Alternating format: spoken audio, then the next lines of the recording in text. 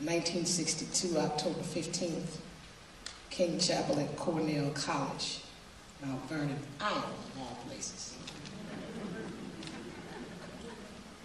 I am convinced that men hate each other because they fear each other. Amen. They fear each other because they don't know each other. And they don't know each other because they don't communicate with each other. And they don't communicate with each other because they are separated from one another. Separation is not the direction going forward.